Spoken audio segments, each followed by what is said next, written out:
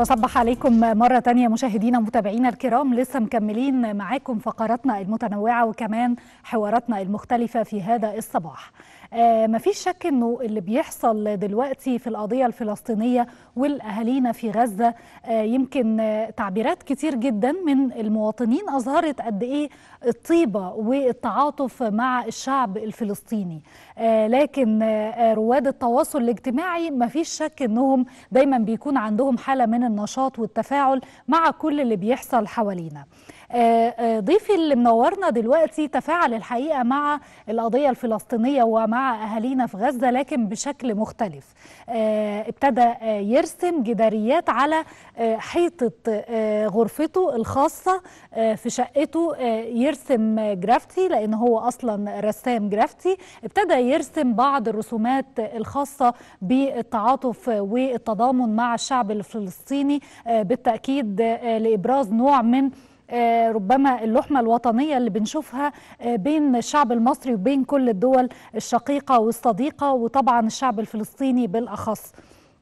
هذه الصورة الحقيقة لقت رواج كبير جدا لقت ترحيب جدا من مواقع ورواد التواصل الاجتماعي لهذه الصورة المعبرة وابتدت تنتشر بشكل كبير جدا على مواقع مختلفة. يعني اسمحوا لي أرحب بضيفي واللي مشرفني على الهواء مباشرة يوسف الشيخ فنان جرافتي. صباح الخير. صباح النور وسام حضرتك.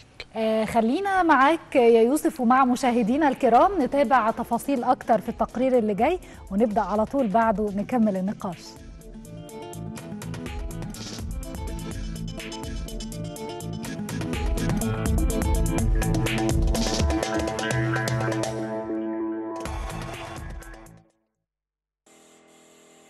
يوسف الشيخ صاحب الواحد والعشرين عاما. صمم جرافيتي على حائط غرفته احتفالا بأهل فلسطين الشقيقة بعد إعلان وقف إطلاق النار كاتبا شعار غزة انتصرت والقدس لنا. يوسف يدرس بكلية التاريخ والحضارة جامعة الأزهر ويهوى الرسم خاصة فن الجرافيتي ويهتم بالخط العربي وفن ال fantasy عموما. يوسف يهوى رسم جرافيتي من صغره ويحاول أن يعبر عن رأيه بها والموهبة والاختلاف والفن قادر على توصيل القضية وصوت الحق بسهولة وسرعة. يوسف حصل على العديد من الجوائز في مجاله منها المركز الأول على محافظة القاهرة في الخط العربي وشهادة أعمال من إحدى الشركات المهتمة بالفن الجرافيتي. يوسف أراد الاحتفال بطريقته الخاصة عن طريق رسم حائط غرفته وقام بتخطيطه بالحروف العربية وعبارة غزة انتصرت لكي يوثق حدثا مهما وصمود شعب أمام قوة غاشمة.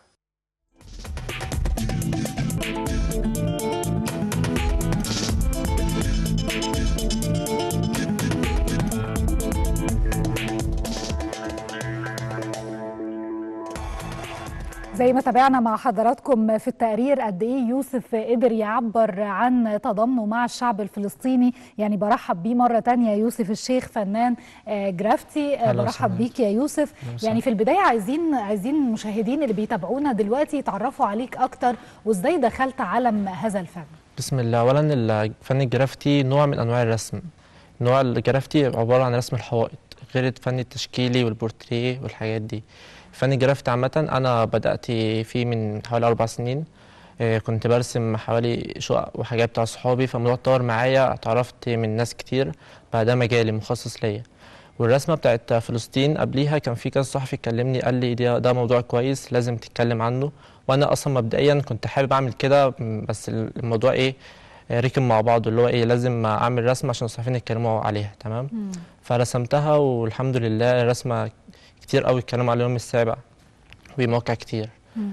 بس إزاي جات لك الفكرة إنك تكون إيجابي وتتضامن حتى برسمة؟ يعني تستخدم موهبتك في هذا الفن إنك تتضامن مع أشقائنا في فلسطين. هو كل واحد بيوصل فكرته بالطريقة اللي يقدر يعملها. أنا عشان رسام فأكيد أوصلها بالطريقة دي.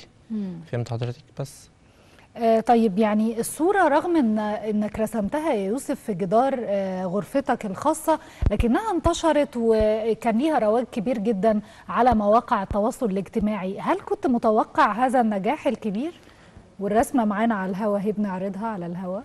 طبعا أنا مش متوقع حاجة زي كده بس دي حاجة فرحتني جدا بس عشان كنت راسمها في نفس الوقت اللي كان الحمد لله غزة وقفت اطلاق النار والكلام ده بس أنا برسم من من وأنا من أربع سنين بدأت بالخط العربي.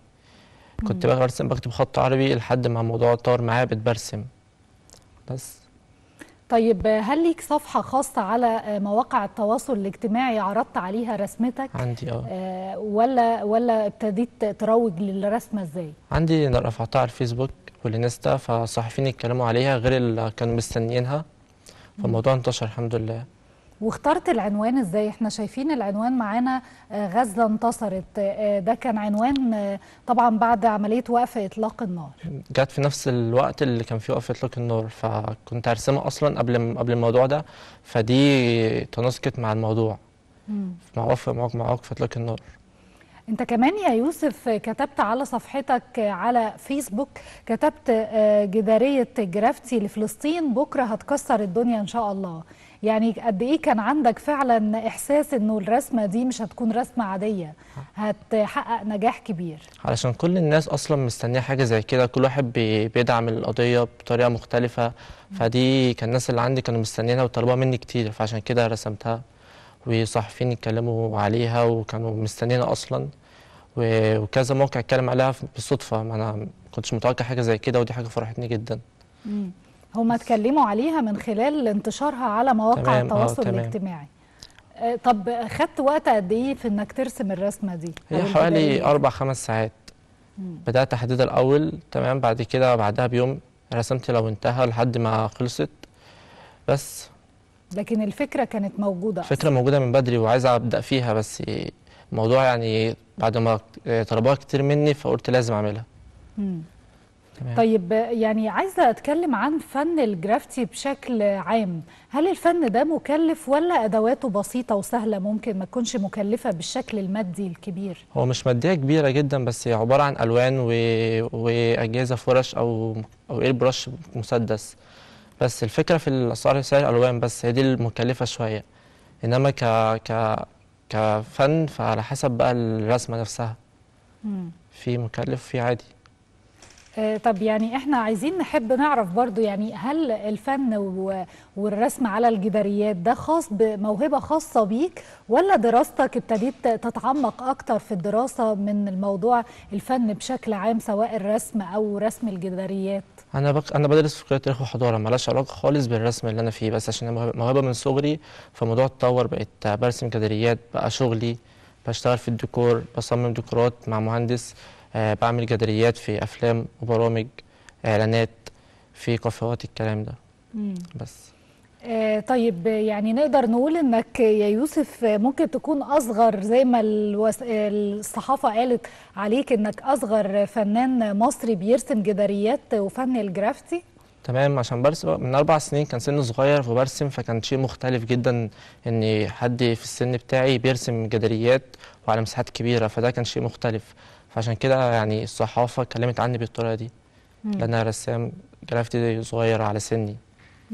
بس. طيب انت قلت لي دلوقتي يا يوسف انه آه، بتشتغل آه، في إعلانات بتشتغل في أعمال درامية في في, في ديكورات آه، في كده. هل عندك مشاريع مستقبلية ممكن تقول لنا إحنا تبقى تصريح خاص للنيل الأخبار؟ هل شغال في حاجة هتض- هتطلع من النور الفترة اللي جاية وهتبقى مفاجأة للناس؟ هو آخر حاجة عملتها كان إعلان شركة بابجي ديكور. لحد دلوقتي الإعلان لسه ما بس كنت لازم فيه جدارية ليها علاقة بال- بالشركة. والمشروع اللي أنا نفسي أبدأ فيه اللي هو مشروع آه، شركة آه، تعليم تعليم الجرافتي وتعليم ال- الرسم عامة. وطبعا الجرافتي بالأخص لأن آه، كورسات كتير قوي في رسم كتير في البورتريه وال- والفحم والرصاص ده كتير جدا. إنما الجرافتي قليل جدا إن في حد بيعلمه فدوت أنا عايز أبدأ في الحوار ده قريب. بس. طيب طموحاتك لفن الجرافتي وعندك أفكار ممكن تطور بيها الفن ده؟ ولا آه، مجرد إن أنت بتنفذ الفن زي ما الكتاب بيقول كده نقدر نقول ولا عندك أفكار ممكن تطور بيها هو الفن الرسم عامة ما مش مش في نو- في نطاق معين. أنت بتزود بتزود عليه حاجات كتير وأفكار كتير. غير الخط العربي الخط العربي في نطاق معين قوانين.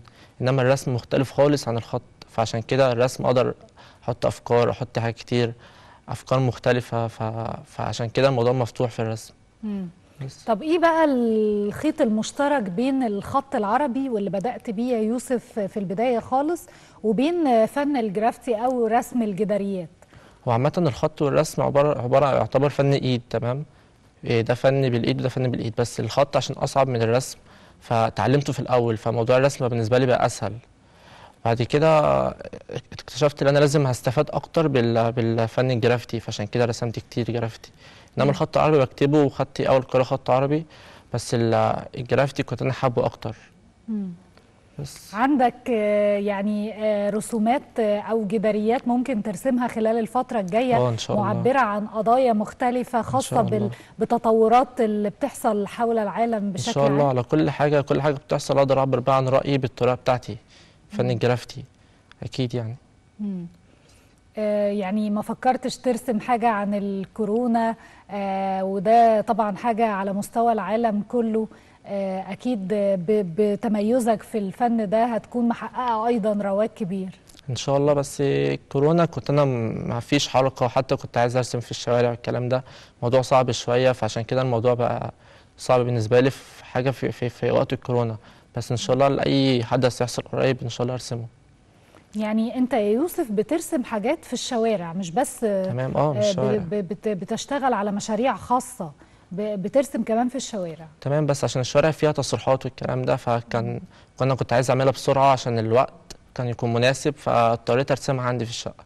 طب إيه أهم الحاجات اللي رسمتها في الشارع؟ مش هي مش أفكار معينة عامة يعني بس هي كان عبارة عن فن الجرافتي باشكال معينة بس مش بتوصل فكرة معينة هو كفن أشخاص الكلام ده شكل شغل شك- شكل تصميم معين بطريقة معينة بس مش بوصل فكرة معينة في أحداث. فاهماني بس يعني مين مثلك الأعلى في فن الجرافتي واللي بتحاول تتعلم منه وعاجبك فنه بشكل كبير؟ في آه، آه، أستاذ فنون جميلة هو مش عارفنا عامة اسمه عمار أبو بكر ده أستاذ وفنان جرافتي يعتبر من أحسن الرسامين في ال في ال في الوطن العربي في الجرافتي تمام؟ وفي صديق لي اسمه محمد كمال برضو يعني رسام كبير جدا دول يعتبر مثل الأعلى.